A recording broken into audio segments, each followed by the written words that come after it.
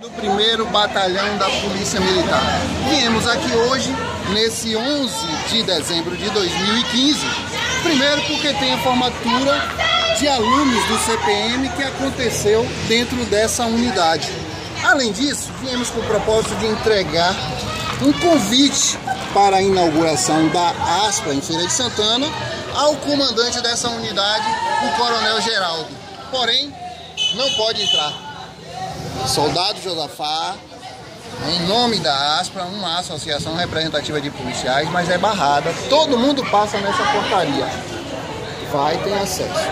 E o problema é que se a gente entrar, o coronel vem apertar o comandante da guarda, vem criar uma série de ameaças e retaliação para todo o efetivo presente. Pode entrar escoltado assim. Será que existe motivos para esse joguinho de esconde-esconde por parte do Coronel Geraldo no primeiro batalhão? Será que tem coisa errada lá dentro? Será que existe tortura, tratamento aviltante, degradante, desrespeito a preceitos constitucionais e humanitários?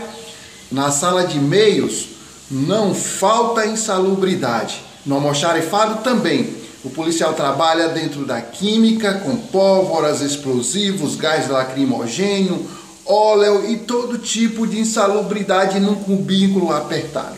Além disso, no dia 18 de agosto de 2015, nós fizemos um flagrante. Um aluno com o punho todo ferido, dadas as vezes que tinha que exercitar por castigos físicos. Assista! O aluno pagando no pátio do primeiro batalhão desse jeito. De punho cerrado, ainda para ver ali. Que punho cerrado, está errado.